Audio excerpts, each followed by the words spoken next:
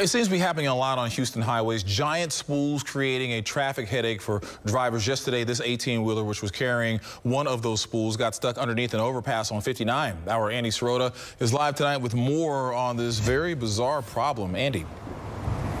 Keith, HPD says it's noticed an increase in these types of incidents after several recent cases. The department's traffic enforcement division is continuing to step up its efforts, taking quite a few different types of proactive measures, including pulling over drivers with oversized loads. Sky 2 over 59 inbound in the 610 West Loop after a tractor trailer carrying a large construction spool hit the bridge and got stuck underneath the flyover. Traffic only getting by in the left two lanes. TxDOT bridge inspectors tell us it didn't cause any damage, but police say they ticketed the driver who claims he got lost, ended up on 59 and 610 and thought he could make it.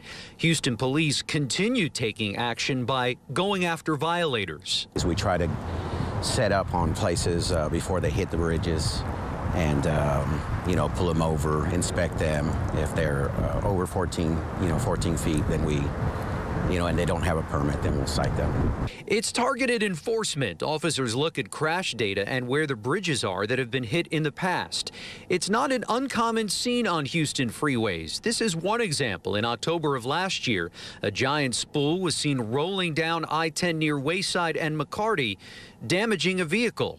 Slice this tire, hit the inside here.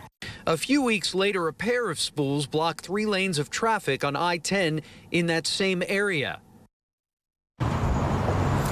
Police also reaching out to companies that transport these large spools, making sure that they educate their employees so that they're aware of how tall they are and the importance of staying on route. TxDOT also telling us that it has sensors at two locations, one at I-10 and Wirt, the other at I-10 and Mercury. Those sensors alert truck drivers if their loads are too tall.